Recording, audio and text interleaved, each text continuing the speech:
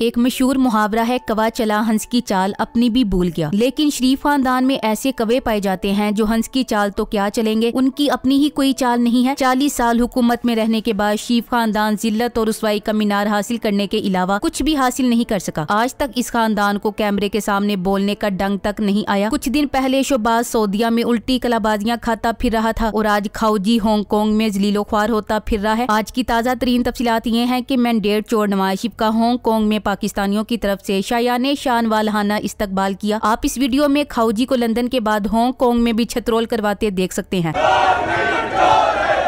गली में शोर है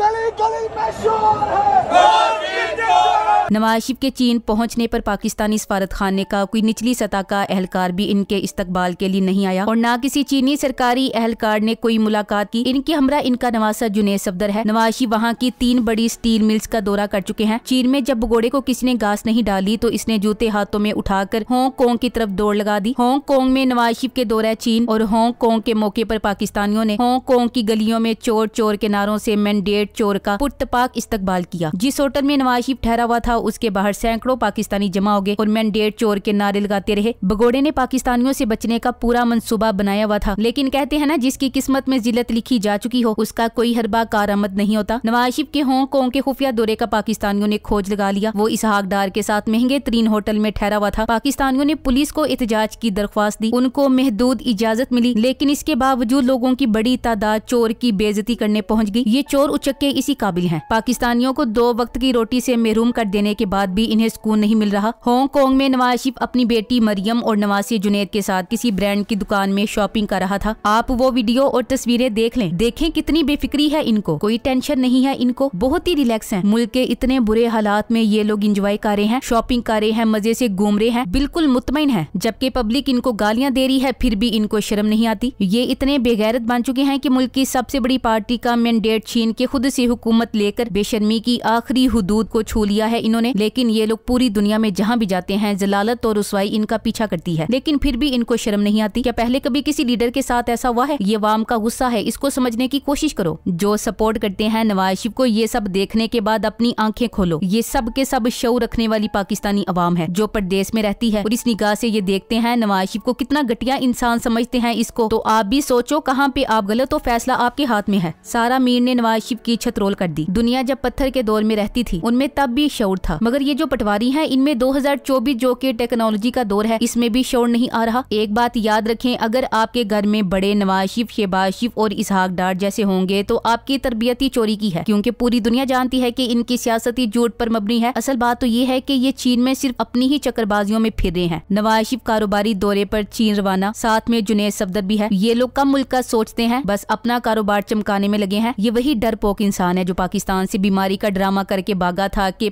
प्लेटलेट्स कम है। अब देखो, जाती कारोबार के लिए बिल्कुल तंदुरुस्त है। इस कौम पर हँसते होंगे, ये सब मिलकर। लेकिन कहते हैं ना कि हर अमल का रद्दमल होता है। इसीलिए तो गैरतमंद पाकिस्तानी जहाँ इन चोरों को देखते हैं चोर चोर के नारे लगाना शुरू कर देते हैं। भगोड़े की हालत इतनी पतली है की नवाज़ शरीफ चीन गया तो एक चपड़ासी इस्तकबाल करने न आया। अब नवाज़ शरीफ ने इसहाक डार को अमलन पाकिस्तान का वज़ीर आज़म मुकर कर दिया है। लंदन, सऊदिया के बाद अब हांगकांग में भी शरीफ खानदान रज के जलील हो रहा है। पूछना ये था की दुनिया का कोई हिस्सा रह तो नहीं गया जहाँ शरीफ खानदान ने बेजती ना करवाई हो? एक तो ये करप्ट है। ऊपर से मैंडेट चोर भी है। इफ्तार खान और मोहम्मद इलियास साहब ने हांगकांग जैसे शहर में कमाल रैली ऑर्गेनाइज कर डाली। दुनिया का अहमद तरीन शख्स नवाज़ अच्छी तरह जानता है की इसे टिश्यू पेपर की तरह इस्तेमाल किया जा रहा है, लेकिन वो बेटी की ख्वाहिशात पूरी कराने के लिए फिर भी जलील होने को तरजीह दे रहा है। ये पाकिस्तानियों की हिम्मत ही है जो अब तक इस नमूने को बर्दाश्त करी है। ईरानी सदर हसन रूहानी अपनी किताब में एक जगह लिखते हैं कि, अगर नवाज़ हमारे मुल्क में होता तो हमारे मुल्क का नाम ईरान की जगह वीरान होता। रूसी सदर ने कहा, अगर नवाज़ रूस में होता तो रूस का नाम गाज फूस होता। बांग्लादेशी ने कहा, अगर बांग्लादेश में होता तो बांग्लादेश कंग्लादेश होता। कतरी अमीर का कहना है की, अगर नवाज़ शरीफ कतर में होता तो मेरा ससुर होता। चीनी सदर ने तो कह दिया की, अगर नवाज़ शरीफ चीन में होता तो चीन का नाम टीन होता। नेपाली सदर का कहना है, अगर नेपाल में होता तो नेपाल की बजाय कंगाल होता। श्रीलंका सदर ने कहा, अगर श्रीलंका में होता तो हमारे मुल्क का नाम सिरीपाई पक्का होता। न्यूजीलैंड प्राइम मिनिस्टर ने कहा, अगर न्यूजीलैंड में होता तो न्यूजीलैंड का नाम चूजीलैंड होता। बरतानवी वज़ीर आज़म ने कहा, अगर हमारे मुल्क में होता तो इंग्लैंड की बजाय बजाय करप्ट लैंड होता। भारतीय सदन ने कहा, अगर हमारे मुल्क में होता तो हमारा मुल्क महाभारत की बजाय लुट महारत होता और एक पटवारी है जो इस चोर को लीडर बनाकर फिर रहे हैं। हालाँकि इस बार भी नून लीग के मंशूर में कहीं नहीं लिखा कि नवाज़ शरीफ आइंदा चोरी चिकारी से बाज रहेगा और माजी की तरह लूट मार नहीं फरमाएगा और आइंदा लंदन की बजाय पाकिस्तान से इलाज कराएगा। ये इकतदार में चोर रास्ते से आते हैं, लूट मार करते हैं और दुम दबाकर लंदन भाग जाते हैं। आजकल जो भगोड़ा पाकिस्तान की अवाम के पैसों पर हांगकांग में जलील होता फिर रहा है, ये पिछले कई सालों से अवाम का पैसा लूट रहा है। बतौर वज़ीर खजाना पंजाब और वज़ीर अला पंजाब उन्नीस सौ अठासी में ऑडिटर ने अपनी रिपोर्ट में नवाशी आरोप कम अज कम पैंतीस अरब रुपए, यानी 350 मिलियन डॉलर की खुर्द बुर्द के इल्ज़ाम लगाए। अपनी वजारत उजमा के पहले दौर में गुलाम इसहाक खान ने करप्शन के जिन इल्ज़ाम के तहत नवाज़ शरीफ की हुकूमत बरतरफ करने का फैसला किया था, उन करप्शन की तफसी कुछ यूँ है। बैंकों ऐसी गैर कानूनी कर्जे जारी करना जो छह सौ पचहत्तर अरब रुपए, यानी छह हज़ार पाँच सौ मिलियन डॉलर रुपए के मसावी बताए जाते हैं। कोऑपरेटिव सोसाइटी स्कैंडल सत्रह अरब रुपए, यानी एक सौ सत्तर मिलियन डॉलर। गंदुम फ्रॉड पाँच अरब अस्सी करोड़ रूपए, यानी अठावन मिलियन डॉलर। मोटरवे फ्रॉड चौदह अरब रूपए, यानी एक सौ चालीस मिलियन डॉलर। पीली टैक्सी स्कीम में फ्रॉड, जिसमें पचास हज़ार टैक्सियों पर कस्टम ड्यूटी माफ़ की गई, यूँ कौमी खजाने को कम अज कम सत्तर अरब रूपए, यानी सात सौ मिलियन डॉलर का नुकसान पहुँचाया गया।